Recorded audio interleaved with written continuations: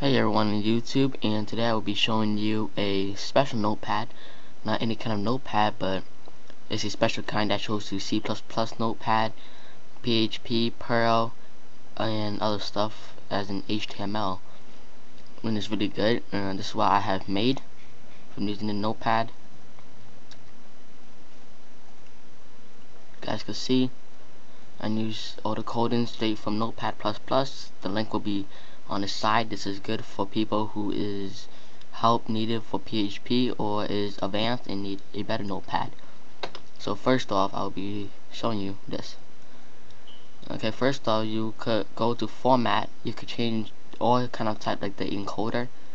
You could change the language to C++, C, AutoIt, CSS, CMake, Jav JavaScript, and many many more. Ruby, Shell, S, uh, SQL, VB, so much. And let's see, there's some other stuff. You you can launch it in Firefox and other stuff. You can get PHP help. For example, it tells you the lines too. Oops.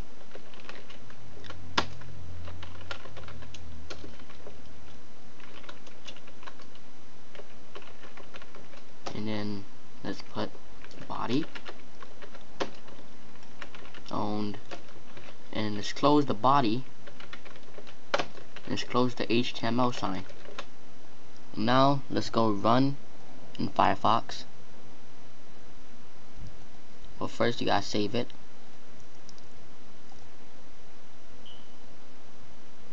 Save in my desktop and I just rebooted my computer.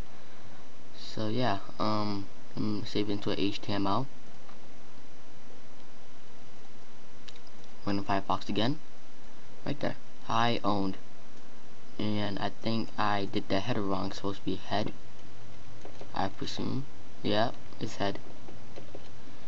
And now let me save it. And run in Firefox. There we go.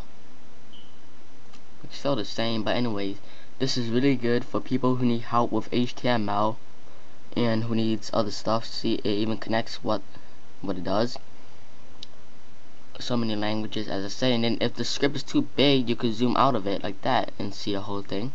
You can even find replace like it's like a normal notepad but it's made for basically almost everything with coding. So thank you for watching this tutorial. Link again will be on the description. And that's all